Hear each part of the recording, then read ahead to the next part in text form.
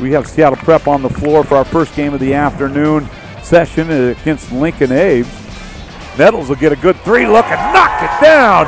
Aaron Nettles from beyond the arc for three. Anthony Bragg, but oh boy, a big block by Colin Gale as you hear the prep fans behind us roar. Macklin double teamed. He'll find, oh, good passing by the Abes. Woodward going to drive it down. Good fake by Jackson Woodward. The steal in the basket. He'll go coast to coast to beat the buzzer. And at the half, we're tied, Bruce. Velp taking Willie Thomas, and he fell backwards, and Colin Velp took advantage of the space created by Thomas falling down.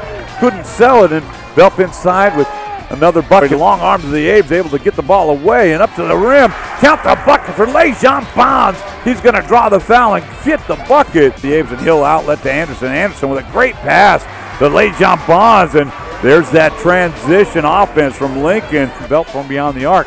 And Colin Velp will knock down a three. And Velp's knocked down three threes in this half. And it's back to a four point lead. It's 55 51. He's going to drive right into Aaron Nettles.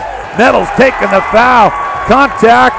Travante Anderson pleading his case. Great defense by Willie Thomas as he le- leaks out, and Emmett Linton is going to decide to take it himself. A nice little hesitation step by Emmett Linton, and he's on the board in his fourth quarter with 15 of his own. Lincoln Abes outlasts the Seattle Prep Panthers, and they are moving on and happy about it. As that was a hard-fought win by Willie Thomas and Travante Anderson and the whole Lincoln Abes crew.